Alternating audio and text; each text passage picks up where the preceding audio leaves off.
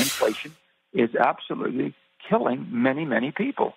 They can't buy gasoline. They have a hard time buying groceries. Everything they buy and consume for their daily lives is a hardship to them.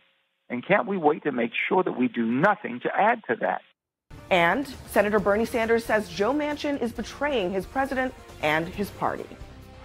He didn't abruptly do anything. He was he has sabotaged for a the president's agenda. And the problem was that we continue to talk to Manchin like he was serious. He was not. And up next for us, the Democrats are venting their fury at Senator Joe Manchin and as he deals another blow to the Biden administration's big policy ambitions. So Senator Bernie Sanders is publicly slamming Joe Biden after the West Virginia Democrat torpedoed President Biden's uh, Joe Manchin after, after he torpedoed President Biden's climate and tax agenda. Take a listen. You have people like Manchin, Sinema, Sinema to a lesser degree, who are intentionally sabotaging the president's agenda, what the American people want, what a majority of us in the Democratic caucus want. Nothing new about this. And the problem was that we continue to talk to Manchin like he was serious. He was not. But over at the White House, the rhetoric is noticeably less fiery.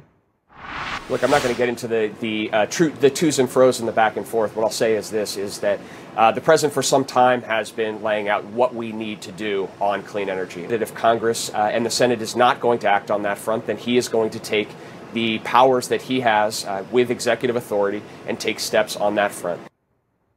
Our panel is back to discuss this. So, Manu, obviously, people are furious. And although I, some people would be like, well, Bernie Sanders is not a Democrat, but he's speaking for the progressive wing of the party right now. Yeah, and look, he may not like it, but Bernie Sanders has to deal with the reality that they are in a 50 50 Senate and they're trying to pass Joe Biden's agenda through a budget process that requires them to do it along straight party lines, or they can do it along straight party lines, which is what they are trying to do. So that means they need Manchin's support, and that's why they've been frustrated for over the past year of trying to get a deal. Remember where they started? I mean, they started talking about a $3.5 trillion massive expansion of the social safety net. Manchin was open to it. He was talking about it. He suggested something much less than that, $1.5 trillion. They went back and forth all year about that. And now they're not even getting anywhere close to that. But there is could be some significant policy changes. He is open to allowing Medicare to negotiate the price of prescription drugs. He's also willing to extend uh, expiring subsidies under the Affordable Care Act. So there could be some policy provo- pro- provisions that get into law, but that's still not going to be enough for what the left wants. And for those who are paying attention, that is of the things that they started with,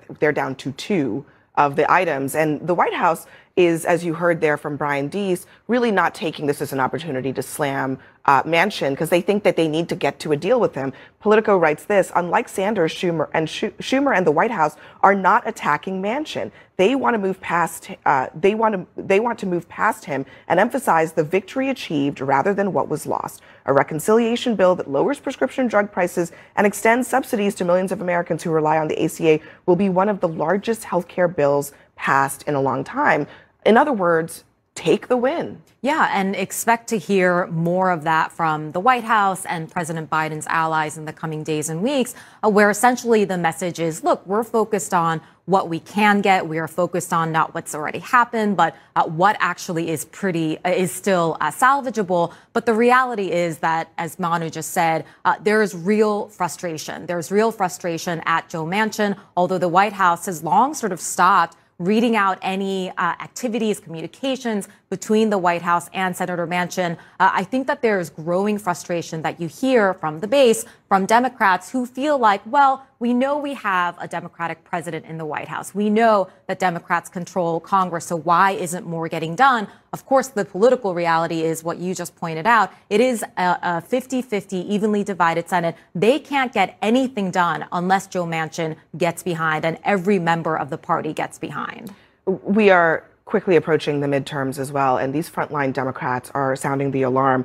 Uh, Mark Kelly in Arizona says the Biden administration needs to, quote, be looking for more opportunities. Raphael Warnock in Georgia, uh, we can do something and we ought to. Elissa Slotkin uh, in Michigan, who has been very vocal, saying, What I need is a plan. I am not looking for messaging help. And the reason is because inflation is, is very bad, and Joe Biden's approval rating is bad and getting worse, it seems. So the, the stakes are very high for something to get done. Yeah, absolutely. President Biden, I mean, he spent uh, what, four decades almost in Washington before, so he wants to have something deliverable for his members to go back home with. But MJ makes a great point just this level of frustration from the base, right? The base for the previous four years in the previous administration saw all of the deliverables that went toward the former President Trump's base, right? They wanted the same thing out of President Biden to keep his party in line and on track and unified as well. And then when Manchin goes astray, that kind of adds to the frustration with both him, but also uh, President Biden's